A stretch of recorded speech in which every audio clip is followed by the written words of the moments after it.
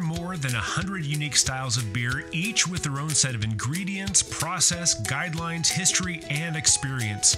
If you're a beer lover, an industry leader, or somewhere in between, a better knowledge of beer style will improve your life and your work. Welcome to A Sense of Beer Style, essential beer style training for those who want to lead in food and beverage. I'm Julia Herz. And I'm Jeremy Storton. We're advanced cicerones, beer judges, home brewers, and we're excited to guide you through the vast and wonderful world of beer styles. Hello, hello, Sense of Beer Style listeners and viewers, and Jeremy. Hello, how's it going? It's going great on this Friday of unnamed dates because the shows live into perpetuity covering the 2021 Beer Judge Certification Program guidelines, but it's Friday, so I'm excited about that. And it should be Friday anywhere in our minds all the time, and also happy hour, um, and also beer study time. And Jeremy's already going for it. Oh my goodness. Yes. Um, and we are getting ready to kick off in less than a half hour. Uh, amber and brown American beer. And we obviously lead with American amber ale. And I can't be more excited to kick it off. So, how we always do the show is we kind of give you a big picture on the the beer style's relevance, what it's really about in a nutshell, and then we dive into ingredients and appearance, aroma, flavor, mouthfeel, and much, much more. But that's all in the style guidelines too. We're here to reinforce and help you get aligned in a very conversational fashion. And with that, speaking of conversation, nothing gets conversation going better than opening a beer. Yes, I jumped the gun and, and I paid the price for it as uh, as my foam kind of popped out of the glass and and uh, that's an interesting thing. If if you have a, a foamy beer uh, out of a bottle or a can and, and and it shouldn't be foamy, it wasn't shaken or dropped or anything like that. That does uh, lead a little bit of suspect that maybe there could possibly be an infection in there, uh, but not always. So um, so I will taste my beer uh, thoroughly to make sure that it's not uh, uh, it, bubbled up when I opened it. If, if you're not watching this, but yeah, we'll, we will see if that holds true or not. Well, I'm gonna Um, I'm gonna also give you a hard time because it, Cicerone style level of what Jeremy has accomplished, advanced, no small task, uh, me included, because I know because I, I Yeah. that's how hard it is to test, take the test. I finally passed it. Uh, Jeremy was confronted with this foam and didn't do what you would do tableside, which is use his uh, skills and uh, his palate to um, absorb the foam. Um, you would, if you opened one of those and you were serving it table side, obviously have a towel next to you already because that's proper beer service Yes. and had that handled that way. But that was kind of funny. So let's talk big picture. This is an American, um, absolutely uh, created, uh, born and bred style. And I'm going to talk a little bit about the history. But before I do that, it's it's amber, right, or red. Yeah. That's the color you're seeing in the glass, and known to be hoppy, certainly more hoppy than um, certain other styles that inspired it.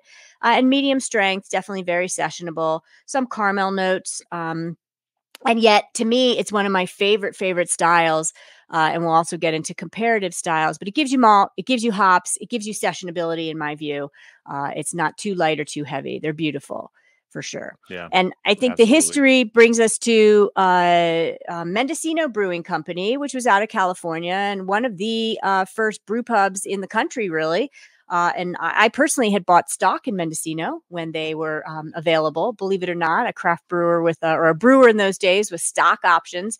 Uh, but I will say that stock went in the shitter, and it was not a good play.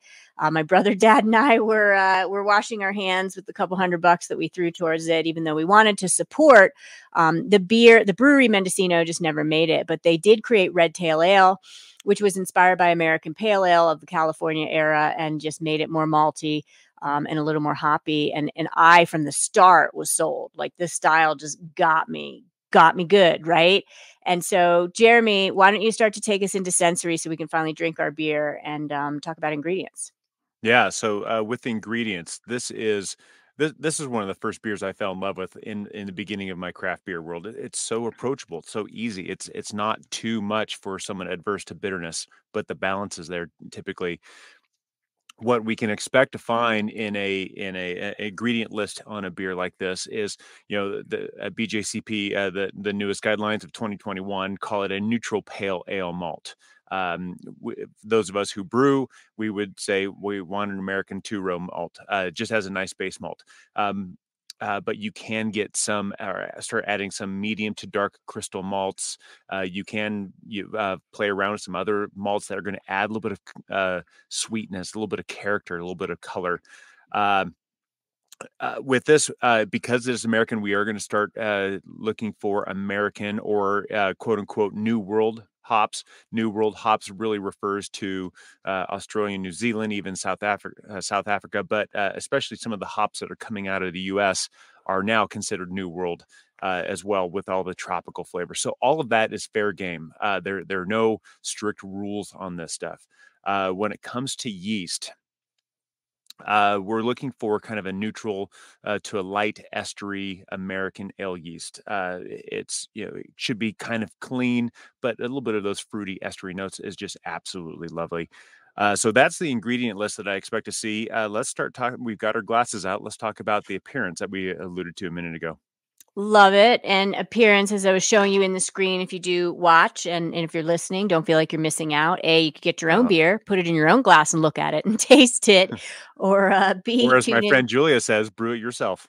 Yes, or homebrew one. Absolutely.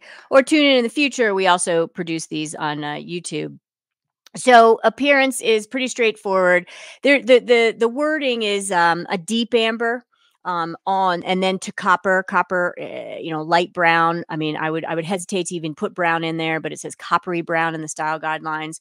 Um, and you get these reddish hues sometimes um, which are beautiful frankly. It's a beautifully colored beer. It's really inviting. Doesn't look like a kind of a, a more um, less nuanced and flavorful lager right? It looks like an ale, which is kind of fun with those uh, those more pale malt notes and some caramel uh, malt and, and the like.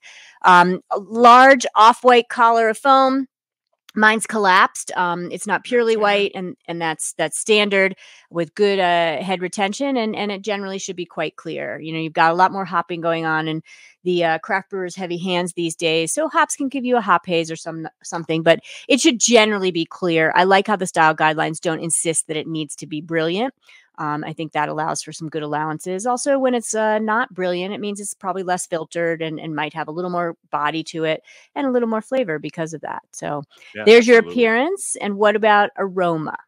So for aroma, when we think about a balanced beer where the the malt and the hops really share the stage on your palate, this one should be very well balanced, but it should have a very decided lean toward the malt. That's that's kind of the the beauty of these amber ales, um, especially back in the day. The, these are beers that are harder to find.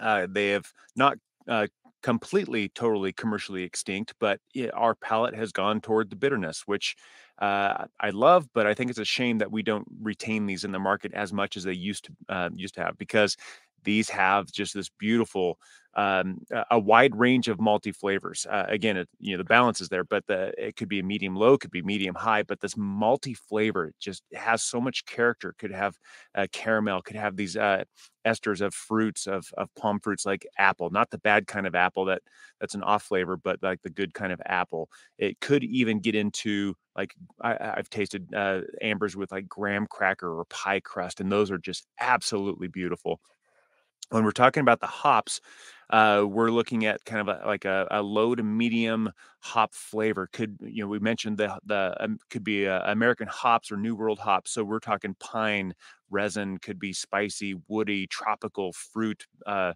it could be citrus. Could be berries. Uh, it could be stone mm. fruit, and all of this stuff is just wonderful. Uh, again, uh, when we talked about the the fermentation uh, profile. Uh, uh, this is all what we're smelling in the aroma, but when when we get to the fermentation part, we should be fairly clean. Uh, if we if we got esters, great, that's coming from uh, the fermentation, but it should be fairly clean without any uh, aromas that suggest anything kind of funky in there. but how does that translate into flavor or the taste? Great baton pass, thank you. And esters, which you kind of lingered on because this is an ale, as Jeremy's yeah. saying. Um, fruity esters in the flavor actually can be moderate to none. Esters are much more so always going to display actually in the aroma, but you can get hints yep. of them or, or more prominence in the in the flavor.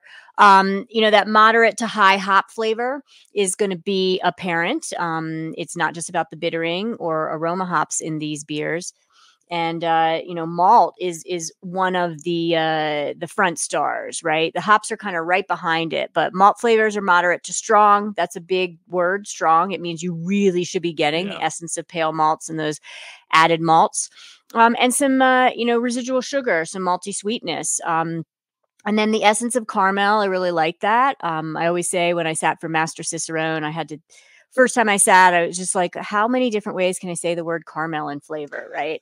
and so caramel is definitely on a spectrum. So when I say caramel, my my rich caramel um, you know, candy might be going towards your toffee. I'm not saying that these styles go towards toffee. I'm saying they go to caramel candy, the kind you get in the hardware store, the old school candy store, um, but not in a uh, cloying or aggressive way. Uh, you can get toasty or biscuity. That's very common. Um, and then darker roasted malt flavors should be absent. You should not be getting that essence of anything that takes you towards a brown ale uh, or above. That's really important. Uh, moderate to high bitterness is the point. California is the state that taught us about aggressive hopping, um, and this being inspired by American pale ales to kind of up the ante. Uh, really did take these uh, these paler um, ales to a to a hoppier uh, more bitter place. And yet you want it to mostly be balanced between the malt and the hops, although I'm still going to ode to the hot to the malt to say that's what should, should really carry the day as I as I smell it and get ready to taste it. So that's what I got on flavor. Um, what about uh, mouthfeel?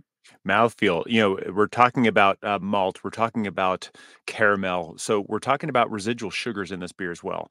Uh, so therefore, that's going to translate to it could be a medium to medium full body uh, according to the guidelines. I have yet to taste an American amber with a full body. I mean, not not something chewy, but but that you can get this texture, this viscosity, just because of all those residual sugars when it's uh, you know because it's an amber and because it's malt forward. And if mm-hmm. it's not fully attenuated, then we're going to have this wonderful uh, mouthfeel. Uh, but you can have this medium to higher carbonation. It's a wonderful thing to have this mouthfeel and then have like a little bit higher carbonation to kind of cleanse your palate after that. That is a wonderful sensation. It's something I urge all of you watching or listening to really uh, pay attention to and evaluate. What is the viscosity of the beer? What does the carbonation do to the beer? Those are two very different things then the finish yet an even third thing is how it finishes I, I think about flavors like a boat going by uh, you know, and and and then when we talk about finish, that would be the wake that the boat has left, right? And and so that eh, eh, that's just you know what what are you what's lingering on your palate? What flavor? What texture? What what uh, how does it feel? Really is is I, has that's how I think of finish but astringency uh, astringency it shouldn't be there. This is astringency particularly comes from uh, uh, hops and and and this should be the hop should be balanced it should be kind of faded back a little bit. So i don't expect astringency if you get a little bit a little bit of alcohol warmth uh, I, I in my experience that's not typical but that is absolutely allowed to have just a little bit of that if you have a stronger version of this stuff. So so uh, so taste your beer, smell your beer, but also pay attention to how it feels on your palate. Uh, there's a lot of wonderful senses that you that you can enjoy. Uh, so th- that's my dissertation on uh, on mouthfeel. Let's talk about uh, how these styles or how this style compares to other ones that are similar to it. Awesome. And I love the style comparison of the style guidelines, not just for beer studies, but also for the fact that I could hold this glass up and am and you might not be able to tell which style it is. It could be yeah. an American pale ale looking at that. It could be a red IPA, right? It could be an American strong ale.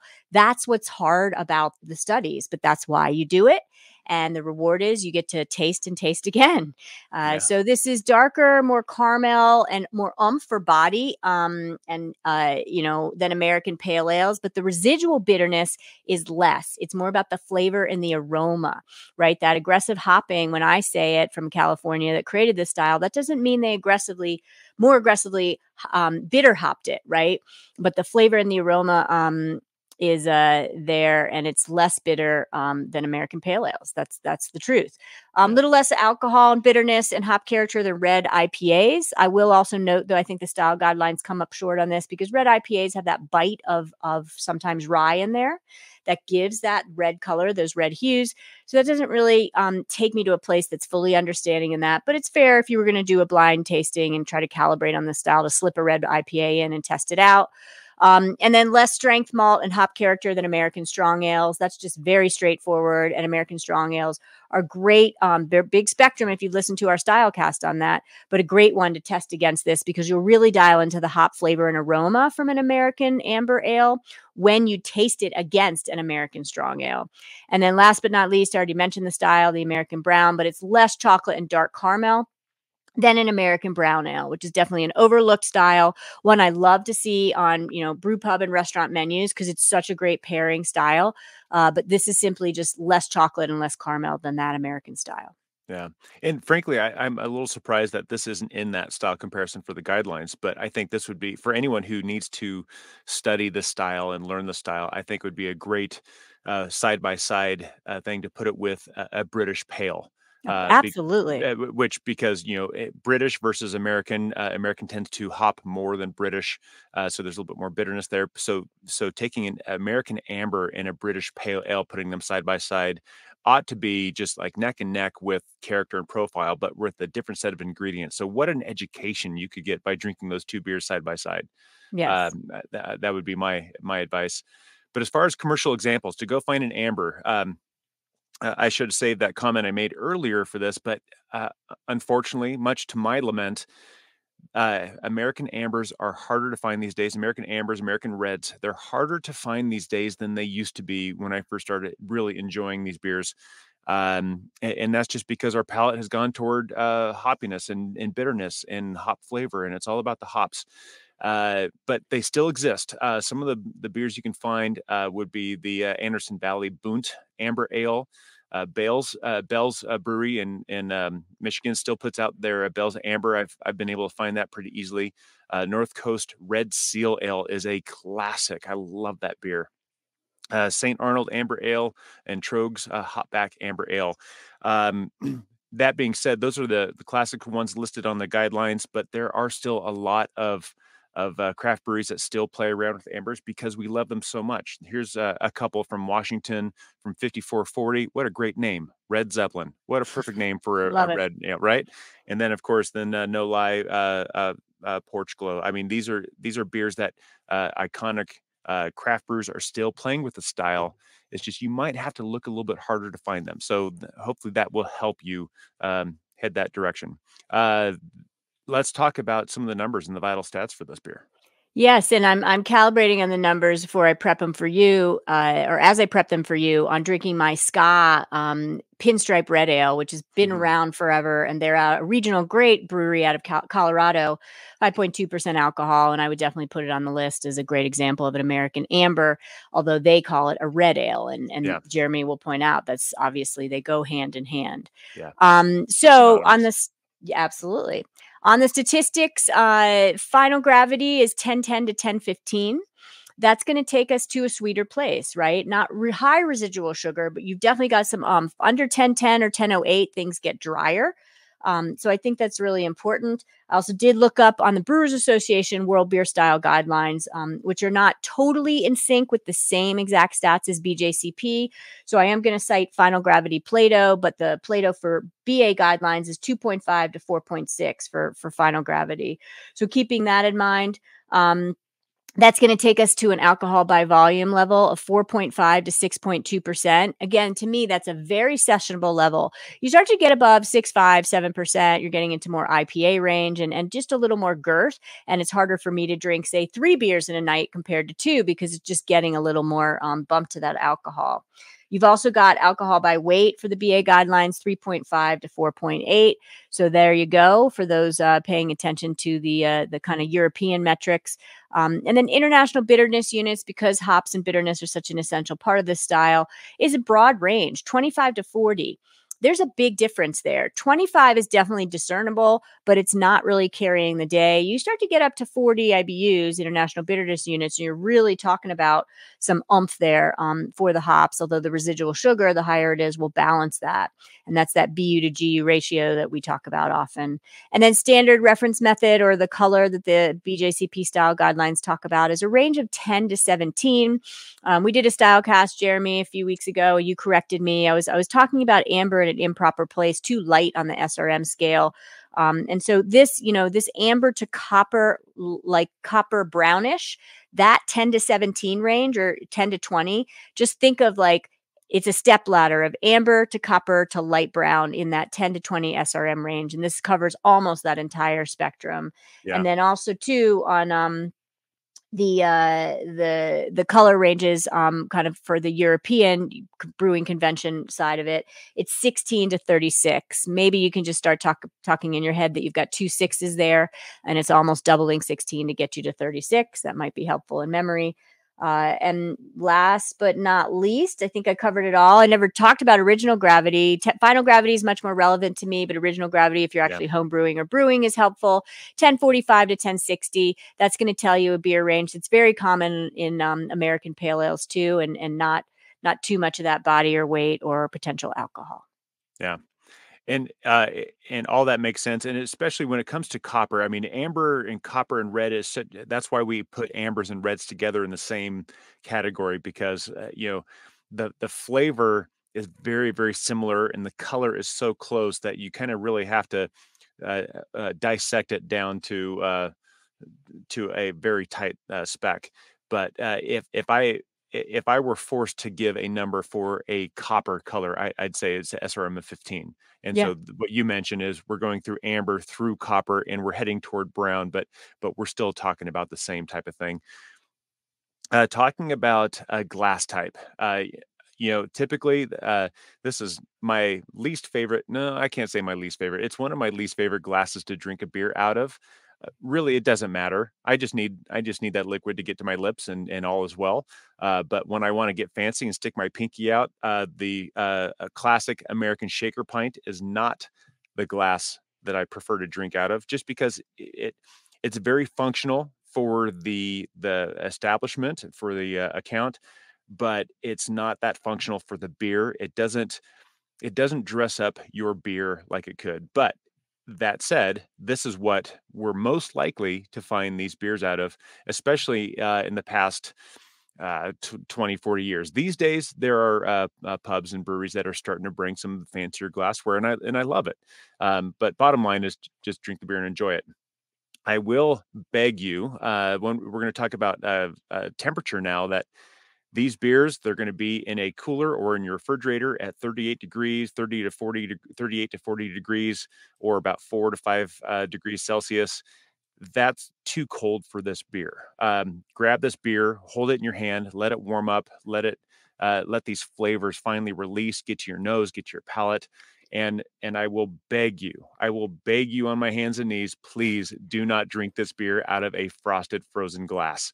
That will just ruin the experience. Uh, ask your server, and I do this all the time. Please, can I have a a glass that uh, is not out of the freezer? And and I actually will ask for that. I'll even ask for this these beers to be served in a wine glass on occasion uh, when when they're served to me in like a mason jar or something. I, I will ask for a better glass. So so take uh, take your glasses seriously. Take your temperatures seriously because it's it's your experience. It's your money. Um, uh, but more importantly, let's talk about what we'd pair with this. Pairing, pairing, here we go. And the strong yeah. finish. We like to add this, even though the style guidelines don't cover this anywhere. So you're getting added value here with Sense of Beer Style and your hosts. Mm, yes, um, th- this is a beer when you start to uh, talk about caramel flavors, right? Maybe a little biscuity, um, those pale malt notes and the like. You obviously go to barbecue. I mean, barbecue and also doesn't have to be out of respect for our, our vegetarian and, and other friends. Um, this could be something as a preparation, right? That sauce. Think, think, and my mouth is starting to water, you know, think, think sweet, sweet, yet um, a little bit of sour with some vinegar in it type of barbecue sauce, you know, drizzled on anything from vegetables that have been char grilled where you see those sear marks, right? And you've got to gonna get those links and, and hooks to the preparation, the um, the heat influence from the barbecue, and then also the proteins that are taking to that sauce that then will find their way to the pale malts, the caramel flavors in your in your amber ale. So I'm going with barbecue. Um, I always go to craftbeer.com which uh, me and, and my many of my colleagues have contributed to over the years. And, and the dessert I love. Uh, it's not one for me. It's probably from Andy Sparhawk, who I worked with for many years. Vanilla banana pound cake. I just love that. Oh, that yeah. just that just sounds like I think that would Andy suggesting it. And like think bananas, right? Bananas can elicit those uh, esters that maybe aren't there that you would maybe love to find. Pound cake is often something that is like this spongy cake, if you've never had it, that's kind of drenched in a rich essence of sweetness. Think lots of butter. Um, and then, uh, you know, you're using, I would say, your amber ale as, as a little bit of the drizzle of the sauce over that banana pound cake. And there you go. Yeah. and and and I think you know because this beer has such a sweet prominence in this uh, caramel dominant flavor, along with just this beautiful bready notes and these everything. So we so we can really play with this, and and we know that sweet and sour goes well. Anyone who's ever had a margarita knows that sweet and sour play well together. So take this beer and add something like you mentioned that that uh, tart barbecue sauce uh, sweet and spicy goes together really well. So I'm thinking spicy barbecue. I'm thinking Mexican or Indian or or spicy Thai. Um, I think for me in this beer, uh, I, I I go to sweet and savory. I love that combination of sweet and savory, especially if I'm grilling some like great sausage or some whatever whatever grilled meat especially if I'm doing it over a charcoal or a wood fire. So I get some of these smoky uh, uh, notes in there too. That to me, that just takes me to my my my happy place uh, with the, that flavor profile. So play with it and and see what you come up with. Uh, this is just a really fun beer to pair with. It, it offers so many opportunities. But that being said, that is the American Amber slash American Red Ale and I I I hope you guys enjoyed this uh this style cast, excuse me. Uh, and it's a, it's a great beer. I hope you can find it, and I hope you enjoy it. Yes. Cheers to everyone. Thanks for joining us. You for listening to A Sense of Beer Style, the essential beer style training for those who want to lead in food and beverage. With advanced cicerones, me, Julia, And me, Jeremy. Tune into the next episode as we continue exploring the world of beer styles and what to make of them. We encourage you to listen to the prepisodes to build your foundation and better understand beer styles. And before the next episode, I'd like to ask you to review the show and let us know what you'd like featured in upcoming episodes. Until next time, here's to you and your sense of beer style. Thank you for listening. Cheers. Cheers.